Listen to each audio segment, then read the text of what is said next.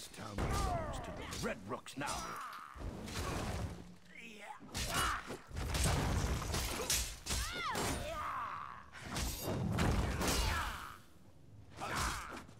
Flank, now!